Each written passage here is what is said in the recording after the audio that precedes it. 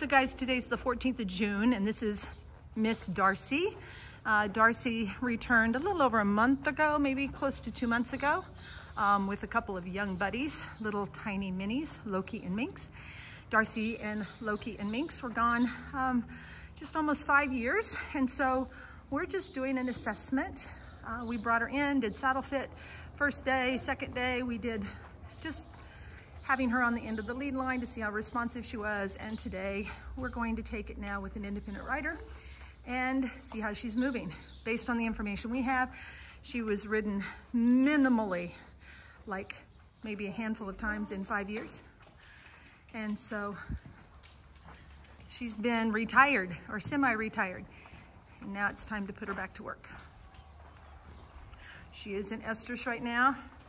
So that tells you a little bit about her attitude. While she's in estrus, you can see under her tail, we've got a little Desitin back there due to the um, irritation of her fluids. Good. She has been ridden bitless, just like all of our other horses are. Good, nice little walk transition. And go ahead and go to the wall. Good. All right. Okay. We're going to disengage and go the other direction now. Good. Nice step under, behind. Very nice. Good. Good. She says, please let me go back and just hang out like I've been hanging out for quite some time.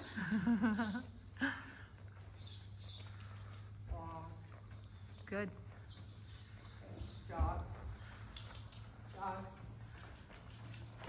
Good.